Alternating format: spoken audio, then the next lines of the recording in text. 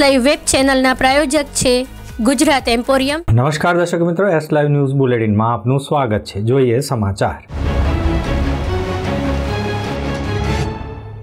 જનસેવા driver party ગુજરાતની તમામ વિધાનસભાની બેઠકો પરથી ચૂંટણી લડશે. જનસેવા ડ્રાઈવર પાર્ટી ગુજરાતની તમામ વિધાનસભાની બેઠકો પર ચૂંટણી લડશે અને વીસ ઉમેદવારોની પસંદગી કરવામાં આવી છે. એ પ્રથમ તબક્કામાં વીસ ઉમેદવારોના નામની જાહેરાત પણ કરવામાં આવી છે. રાષ્ટ્રીય અધ્યક્ષ પ્રવીણ તિવારીએ જણાવ્યું કે તેમની જન સેવા ડ્રાઈવર પાર્ટીમાં મોંઘવારી, આરોગ્ય, શિક્ષણ ડ્રાઈવરોની અનેક કલ્યાણકારી યોજનાઓ સાથે જોડાવા માટેના મુદ્દા ઉઠાવશે. અમદાવાદની ચૌદ ઉત્તર ગુજરાતની છ બેઠકો પર પોતાના ઉમેદવારો તેઓ ઉતારશે. પ્રવીણ તિવારીએ વધુમાં જણાવ્યું કે પાર્ટી સત્તા પર આવશે તો ડ્રાઈવરો અને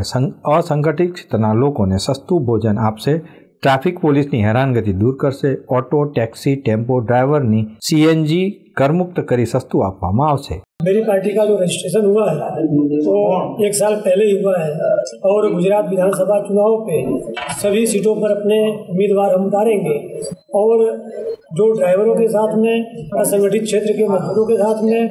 गरीब एवं सामान्य प्रजा के साथ में जो भी अन्याय हो रहे हैं, उसको रोकने के लिए हमारी पार्टी पूरी मक्कमता से गुजरात विधानसभा चुनाव लड़ेगी। लगभग लगभग एक सौ बयासी सीटों पर लड़ेंगे। हमारे जो मुद्दे होंगे महंगाई बेरोजगारी भ्रष्टाचार और गरीबी के मुद्दों पर हम चुनाव लड़ेंगे ડ્રાઇવિંગ લાયસન્સ પર પંદર લાખનો વીમો કરવામાં આવશે ડ્રાઈવર અને તેમના પરિવારના હિતને ધ્યાનમાં રાખીને આયોગ બનાવવામાં આવશે શહેરમાં રહેતા ગરીબ પ્રજાને મ્યુનિસિપલ ટેક્સ બિલમાંથી માફી આપવામાં આવશે ગુજરાતમાં તમામ સરકારી વિભાગોમાં કામ કરતા તમામ કર્મચારીઓને કાયમી કરવામાં આવશે અને બધા સરકારી વિભાગોમાં તમામ ખાલી બેઠકો પર નવી ભરતી પણ કરવામાં આવશે ટેક્સી ટેમ્પો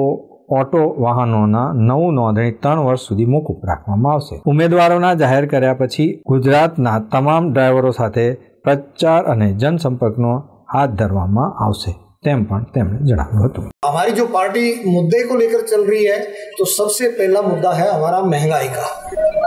महंगाई पे हम सबसे पहले काम करेंगे जो असंगठित क्षेत्र के मजदूर हैं ड्राइवर्स हैं फैक्ट्री में काम करने वाले हैं मैंने पहले भी बताया कि हम सबसे पहले उनकी इनकम बढ़ाने का काम करेंगे। कि उनको आज सैलरी कम से कम मिनिमम सैलरी बेस जो गवर्नमेंट नक्की करती है, उतना तो उनको मिलना चाहिए, ताकि उनकी इनकम बढ़े और उनका स्तर बढ़े। इसलिए सबसे पहला काम हमारी सरकार बनते ही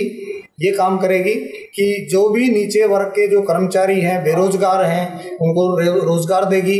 रोजगार बढ़ाने का उपाय करेगी और जो असंगठित क्षेत्र के जो मजदूर हैं उनको सस्ता भोजन मिल सके अच्छा स्वास्थ्य मिल सके बच्चों को उनके बच्चों को फ्री एजुकेशन मिल सके उस पर काम करेंगे તો દર્શક મિત્રો આ હતા અત્યાર સુધીના સમાચાર સમાચારની ખાસ ગતિવિધિ માટે આપ નિહાળતા રહો એસ લાઈવ ન્યૂઝ બુલેટિન નમસ્કાર